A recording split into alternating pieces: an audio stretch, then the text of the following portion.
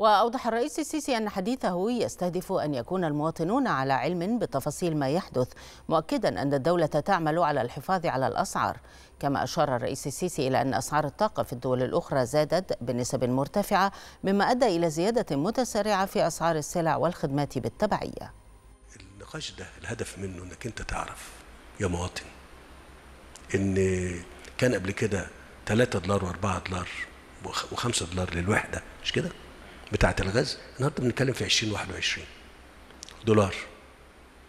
طب انت لو انت الكهرباء اللي كانت بتولد وكانت أقل من تكلفتها بتباع للناس في الوقت ده اللي هي اللي بتتكلف 4 دولار طب لما بقت 21 تساوي كام؟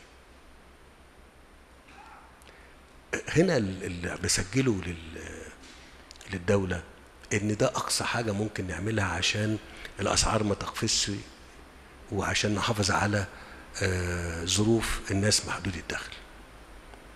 ظروف محدودي الدخل.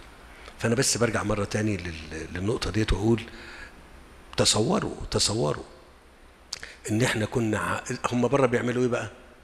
الموضوع بي على طول يعني الطاقة زادت الحاجة تزيد. وبعدين دي تسمع بقى في كل ال في كل ال يعني المنتجات ووسائل النقل فتغلى الحاجة فالناس تحس إن في تضخم كبير. إحنا هنا ما عملناش ده.